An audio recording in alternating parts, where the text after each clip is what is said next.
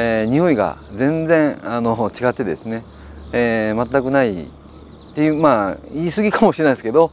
まあほとんどないというような状況ですね。あのまあ兵士率だとかですね産卵率も全然変わってきてます。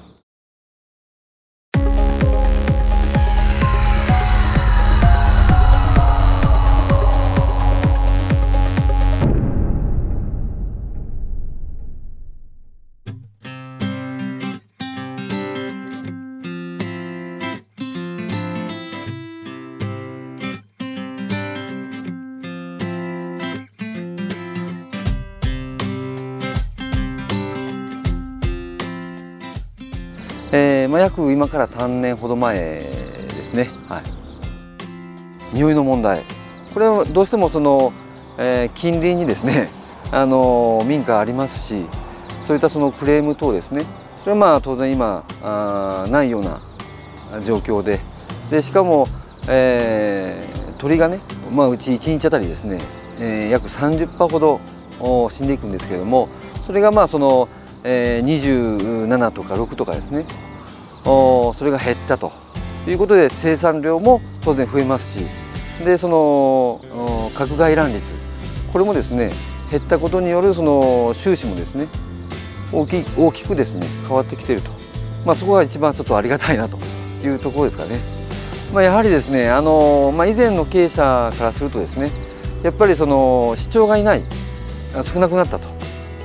えー、いうことについてもやはり、えー、毎日ですね作業あの市長を抜き取る作業っていうのがありますんでその作業も低減したということでまああの事業員さんも喜んでいるのが現状ですね。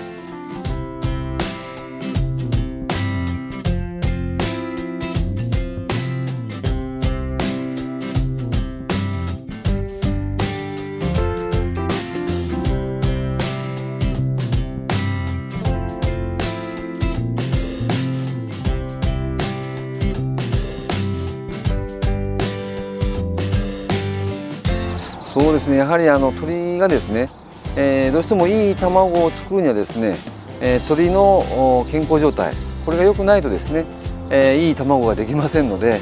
えー、そういった中ではやっぱりいい卵ができてますしでまあお客さんの声も聞きますとやはり卵が美味しくなったということでですね。まあその配管その乳児セブンに限らないあの100%ですね、えー、その影響とは言えないんですけれどもまあ、その影響もあるというふうに私は認識しております。えーまあ、あの薄木養鶏場の卵はですね、まああのまあ、皆さんから美味しい